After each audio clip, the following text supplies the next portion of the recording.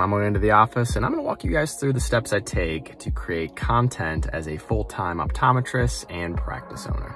When I get to the office, I like to make sure all the equipment's functioning, ready to go. And as you can see, 22 patients on the schedule, so if things don't go as planned, there's delays, staffing issues, I go ahead and, and reschedule. Since I film over lunch, I try to eat lunch throughout the day. And I do all my research beforehand and outline it on Notion. Drop a Lumify for whiter, brighter thighs. It's officially lunchtime. I am on the clock. Let's go. So how do you grow your contact lens practice?